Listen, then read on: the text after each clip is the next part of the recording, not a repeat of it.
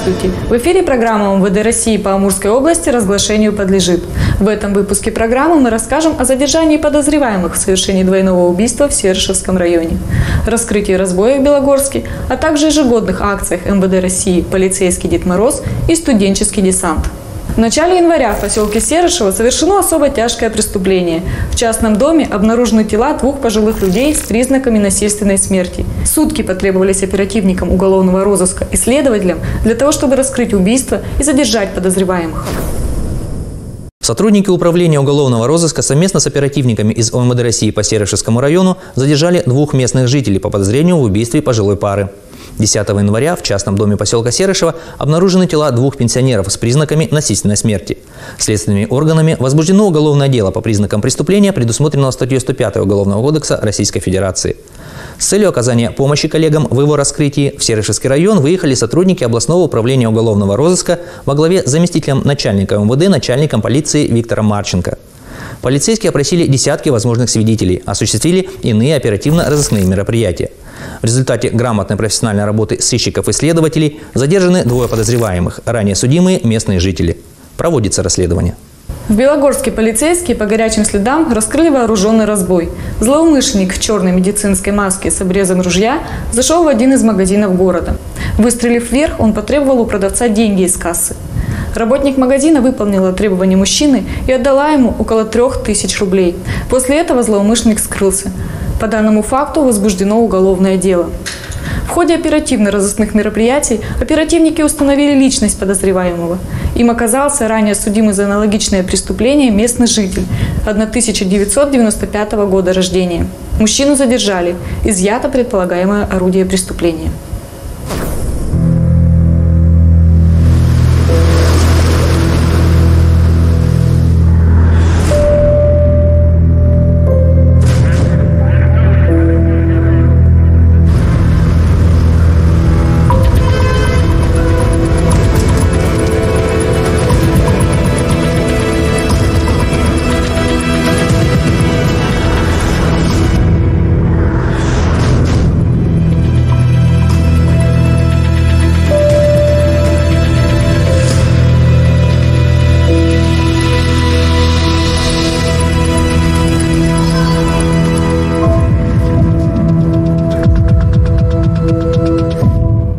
Учащиеся высших и среднеспециальных учебных заведений получили возможность поближе познакомиться с работой полиции. Мероприятия, приуроченные ко Дню российского студенчества, проходят на территории области в рамках акции «Студенческий десант». Одними из первых к акции «Студенческий десант» присоединились полицейские Благовещенска. Они встретились со старшеклассниками профильных классов лицея номер 11. В мероприятии приняли участие сотрудники госавтоинспекции, патрульно-постовой службы, сотрудники отдела кадров. Особый интерес у школьников вызвали вопросы поступления на службу в органы внутренних дел, а также высшие учебные заведения МВД. Также во время мероприятия юные мурчане смогли познакомиться со специальными средствами и средствами индивидуальной защиты, используемыми сотрудниками полиции во время несения службы. Для защиты сотрудника.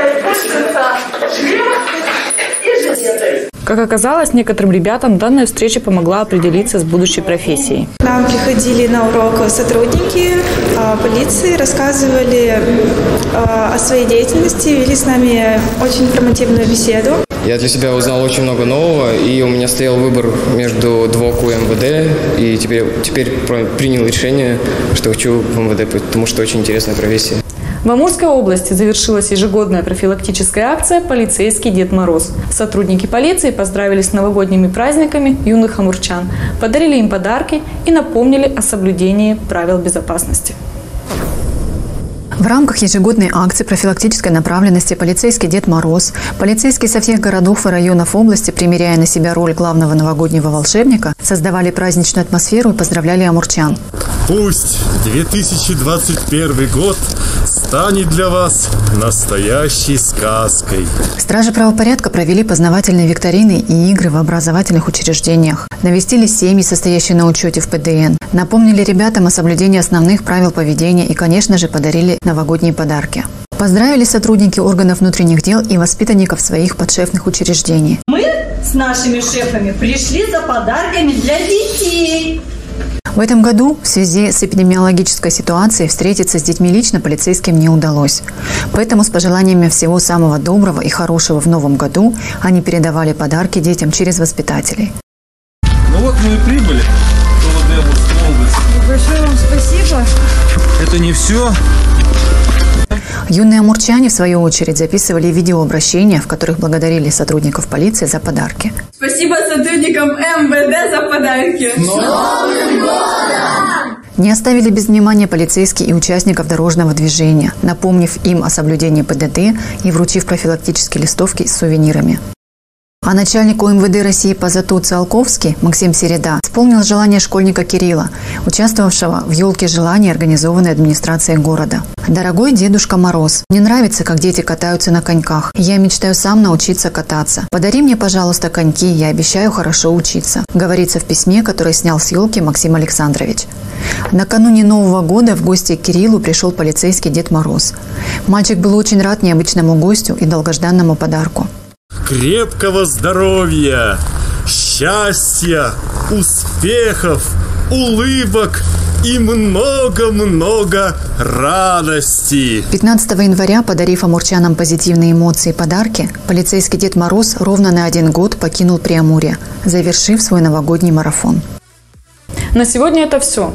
Напомним, что о работе Амурской полиции, вакансиях, профилактической информации, контактах подразделений вы можете узнать на официальном сайте УМВД России по Амурской области, а также в наших официальных аккаунтах в социальных сетях. Берегите себя и своих близких. До свидания.